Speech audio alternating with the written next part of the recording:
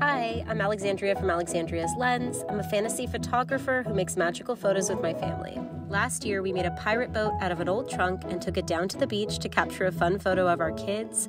Then on Photoshop's Instagram channel, I asked people to help me decide what magical elements I should add into this photo. There were a lot of great suggestions, and I added some of those ideas into my photo already, but the most requested element was a kraken. So today I'm going to share a quick tutorial showing how I blended giant tentacles into our photo.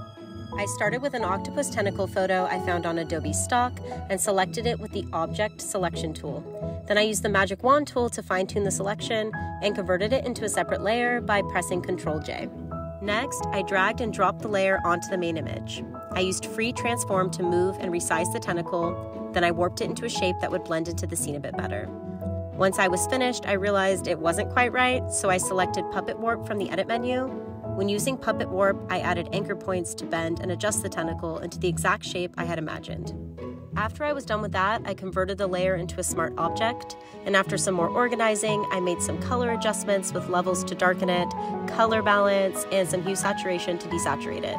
Then I added a layer mask and used the brush tool with the hardness at 80% to mask away some of the tentacle and make it appear like it was coming up from underneath the water. This part can take some trial and error. Make sure to mimic the natural wavelines as you mask it away. Next, I started blending the tentacle into the scene. I added a curves adjustment layer and clipped it to the tentacle. After adjusting the curves, I masked away the areas that I planned on adding highlights to later on. Then I created a levels adjustment layer with the clipping mask and darkened the tentacle by adjusting the levels. After that, I clicked on the layer mask and pressed Ctrl I to invert the layer mask. I also used a soft white brush to darken specific areas of the tentacle, which balanced out the shadows a bit. For the last step in shading the tentacle, I clipped on a new layer and hovered over the darkest part of the image to select a color for shading. Then I used a soft brush at 20% opacity to add additional shading around the tentacle, especially where it meets the waterline. Once that was finished, I added a new layer and used a soft brush with a light yellow color at 30% opacity to paint on some highlights.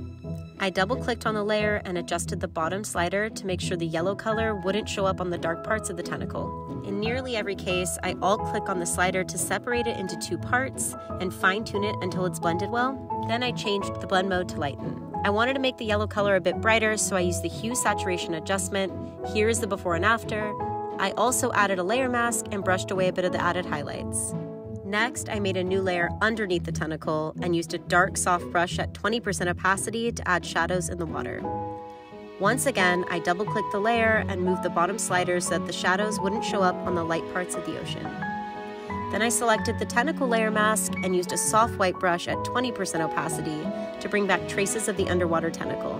This adds an important touch of realism because you can see the tentacle through the water.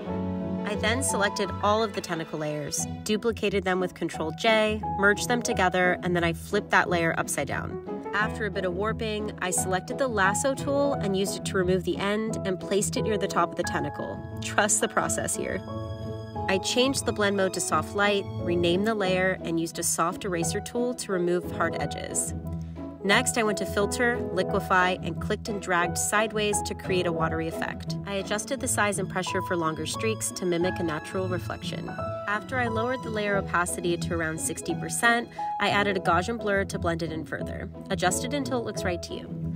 Then I double clicked the right side of the layer and adjusted the bottom slider so the reflection wouldn't show up on the brighter parts of the ocean. Lastly, I added a layer mask and gently brushed some of the reflection away. After that, I dragged over a picture of a water splash with a solid black background, changed the blend mode to screen, and used Free Transform to place it where the tentacle meets the waterline.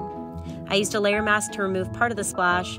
Next, I used the brush tool and held down Alt Option to select an ocean blue. I created a new solid color fill layer, clip masked it, and changed the blend mode to overlay. Then I lowered the opacity and applied a Gaussian blur.